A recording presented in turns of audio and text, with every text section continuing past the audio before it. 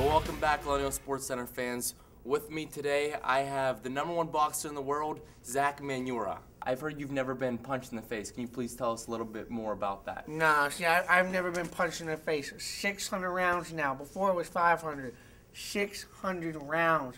Never in this face. I'm just too quick, too fast, too good. You know, I'm just, I'm, I'm just, you know, I'm everywhere. I'm better than Michael Jordan on the basketball court.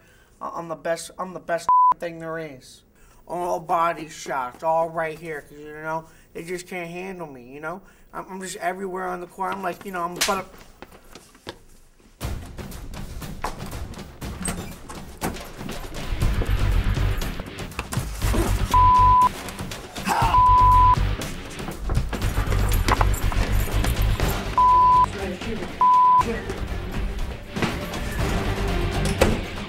Of course, what a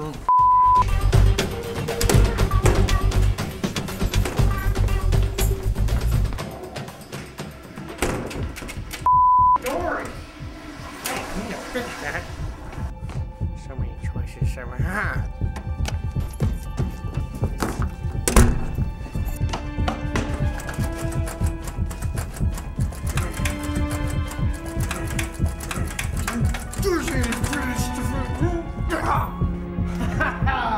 I'm coming.